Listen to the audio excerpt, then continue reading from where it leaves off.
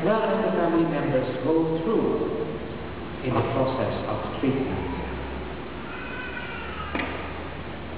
Now, I would think that most people do not like to think of death and dying. So now I'm going to tell you something lighter, but on that topic.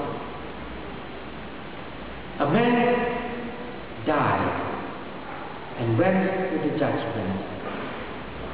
So he met St. Peter at the gates of heaven. St. Peter said to him, Before you meet God, I thought I should tell you this. We have looked at your life, and you really didn't do anything particularly good or particularly bad. So we are not all at all sure what to do with you, where to send you, up there or down there. Can you tell us anything you did that maybe can help us to make this decision? So the newly arrived soul thought for a moment, and the person replied, Yeah, once I was driving along and I came upon a woman who was being harassed by a group of bikers. So I pulled over, got out my tire iron, and went after the leader of the bikers. He was a big, muscular, hairy guy with tattoos all over his body and a ring pierced through his nose. Well, I tore the nose ring out of his nose and told him that he and his gang had better stop bothering the woman or they would have to deal with me. That's the reaction of. Peter. I'm impressed, St. Peter responded.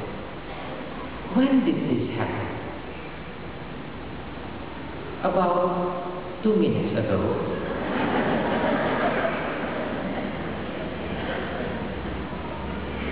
guys don't know what happened. now let's go back to the topic of death and dying. It is such a somber subject. To many of us, death is even somehow associated with bad luck. And we try to evade it, like we try to avoid the unlucky number 13 or number 4 for Chinese. When I was on the Air Asia plane flying from Jakarta coming back here, I caught, my eyes caught something I was not aware of before.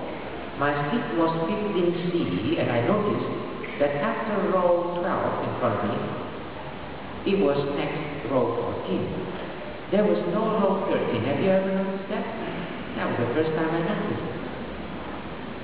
I'm sure it was perfect, the row 13 was perfect, purposely skipped. But can anyone escape death? The Gospel of Luke tells us that no one is to escape because terrible calamity will surely come upon the earth. Some will even die of fright in anticipation of what is coming upon the earth. But let us listen to this. Recently, someone shared with me his experience of going through a serious operation in a hospital. After saying a short prayer, he could really feel the presence of the Lord. He felt the calmness in him that he never felt before.